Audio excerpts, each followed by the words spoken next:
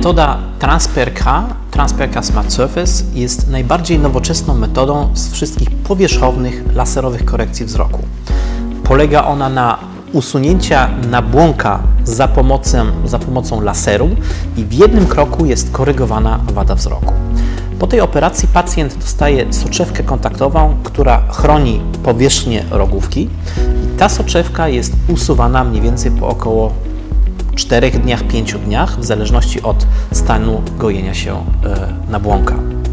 Po tej metodzie pacjent funkcjonuje mniej więcej po około tygodniu, a optymalny wzrok osiąga się dopiero po 3 do 4 miesięcy.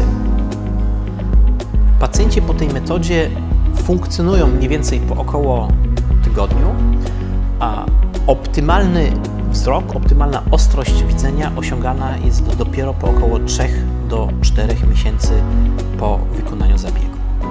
Komu polecam tą operację? Polecam tą operację pacjentom, którzy mają e, lekko nieregularną lub cienką rogówkę lub pacjentom, którzy nie chcą mieć jakichkolwiek nacięć e, na swojej rogówce.